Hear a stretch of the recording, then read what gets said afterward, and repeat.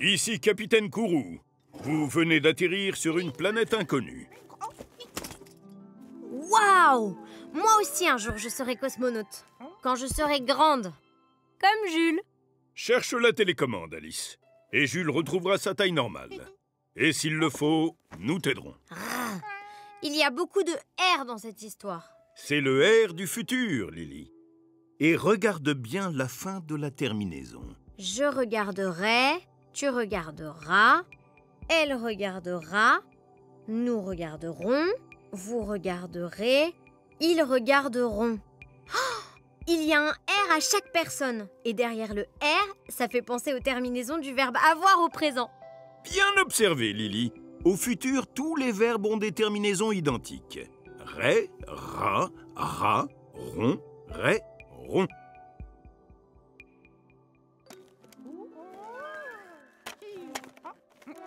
Arrêtez de vous disputer.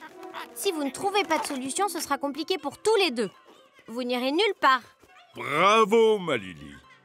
Ce sera, c'est le futur du verbe être. Et vous irez, celui du verbe aller. Et tu les as conjugués en parlant, tout simplement. Ne t'inquiète pas, Alice. Tu reprendras bientôt ta taille et Jules reprendra la sienne aussi.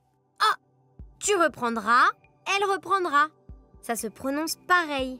Mais est-ce que ça s'écrit de la même manière? Le pronom, Lily. Pense au pronom. Au futur, la terminaison avec tu est R-A-S. Et avec il ou elle, R-A. Bien joué, Lily. Jules et Alice trouveront bien une solution. Tous ensemble, nous trouverons. Ça se prononce encore de la même façon. Mais en trouvant le pronom, c'est facile de bien orthographier la terminaison du verbe. Au futur, avec nous, c'est R-O-N-S. Et avec il, R-O-N-T.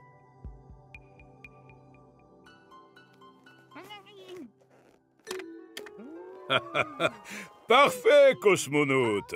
Mission accomplie. Vous voilà prêt à partir. Euh...